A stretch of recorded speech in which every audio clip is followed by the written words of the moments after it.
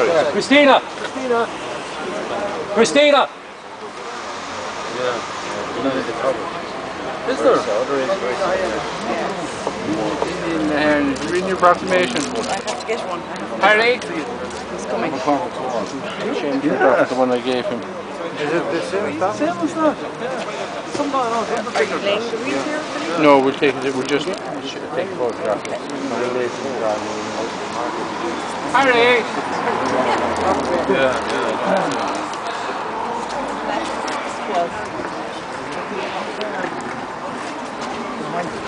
Harry! we need the mic. No. Should do.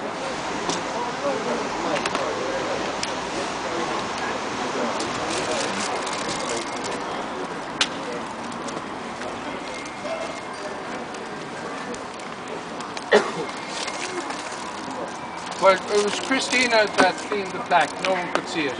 And every St. Patrick's Day, I used to ask the Lord Mayor's office and, and Dublin Corporation, because they used to go over the, all over the world to our 70 million people which have been abandoned by the British government. And they go over telling the great joy it is. The reason we celebrate St. Patrick's Day is because the Irish Republican Brotherhood were founded here by James Stephens on St. Patrick's Day. And uh, uh, in New York, Fenian Brotherhood, John O'Mahony founded it in Doherty's office in New York.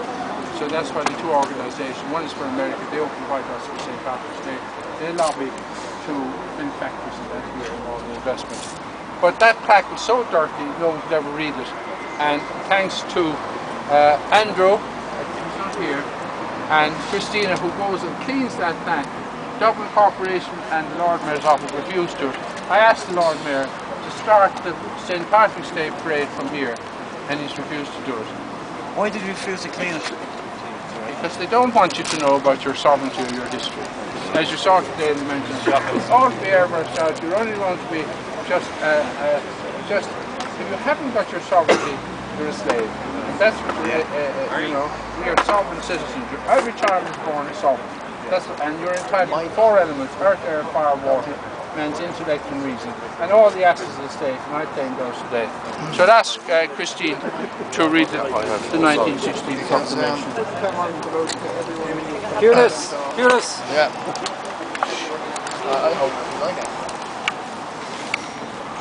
The proclamation of the Poblacht na hÉireann, the provisional government of the Irish Republic to the people of Ireland. Irish men and Irish women, in the name of God and the dead generations, from which she receives her old tradition of nationhood, Ireland, through us summons her children to her flag and strikes for her freedom. Having organised and trained her manhood through her secret revolutionary organisation, the Irish Republican Brotherhood, and through her open military organisations, the Irish Volunteers and the Irish Citizens Army, having patiently perfected her discipline, having resolutely waited for the right moment to reveal itself, she now seizes that moment. And supported by her exiled children in America and by gallant allies in Europe, but relying on the first on her own strength, she strikes in full confidence of victory. We declare the right of the people of Ireland to the ownership of Ireland and to the unfettered control of Irish destinies to be sovereign and indefeasible. The long usurpation of that right by a foreign people and government has not extinguished the right, nor can it ever be extinguished except by the destru- destruction of the Irish people. In every generation, the Irish people have asserted their right to national freedom and sovereignty. Six times during the last 300 years, they have asserted it in, the, in arms. Standing on that fundamental right and again asserting it in arms, in the face of the world, we hereby proclaim the Irish public, Republic as a sovereign, independent state. And we pledge our lives and the lives of our comrades in arms to the cause of its freedom, of its welfare, and of its exaltation among the nations. The Irish Republic is entitled to and hereby claims the allegiance of every Irish man and Irish woman. The Republic guarantees religious and civil liberty, equal rights and equal opportunities to all its citizens, and declares itself itself resolved to pursue the happiness and prosperity of the whole nation and of all its parts cherishing all the children of the nation equally and oblivious of the differences carefully fostered by an alien government which have divided a majority from the minority in the past.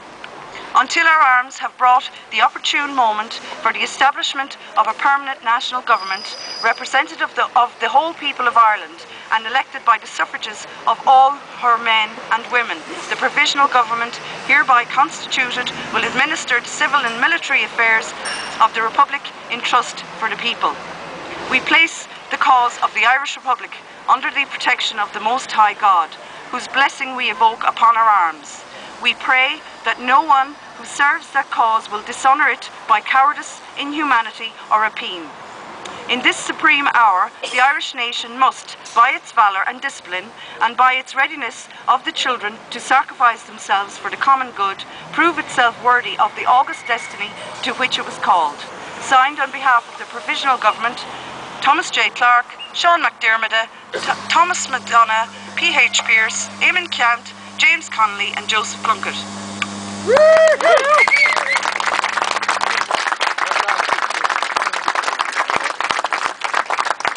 On to, on to the GPO. Yeah, we're going. Put GPO. Okay, we're going to proceed now to the GP.